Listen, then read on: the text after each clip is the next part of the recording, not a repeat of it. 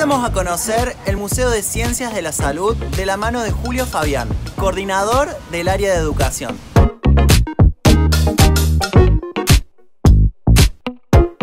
La Facultad de Ciencias Médicas se crea el 10 de octubre del año 1877. Funcionó en ese entonces el Hospital San Roque como hospital escuela hasta que el 24 de mayo de 1913 se inaugura este hospital. Abre sus puertas el 8 de abril de 1913 y su primer paciente fue Juan Pérez. De los primeros egresados de la facultad encontramos a Pedro Vela, quien años más tarde sería el primer director del Hospital Clínicas. Por eso, el hospital lleva su nombre. Otra de las personalidades más importantes de la facultad fue José Manuel Álvarez, el cual, años más tarde, sería el gobernador de la provincia de Córdoba.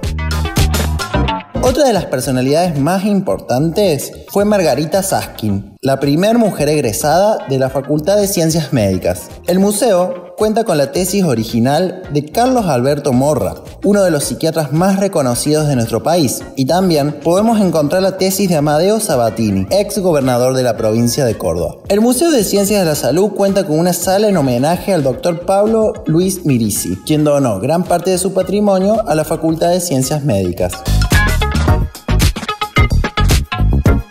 Como dato curioso, la fuente de los monitos que se ubica cerca del Buen Pastor fue una donación que hizo el doctor Mirisi a la provincia de Córdoba. El Museo de Ciencias de la Salud está abierto de lunes a viernes en el horario de 9 horas a 13 horas. Los invitamos que nos visiten en complemento es la visita al museo y la visita al cementerio San Jerónimo donde descansan estos grandes médicos. El Museo de Ciencias de la Salud es uno de los tantos museos que forman parte del PROMU, el programa de museos de la UNC. Te invitamos a conocerlo en las redes de Plaza Cielo Tierra.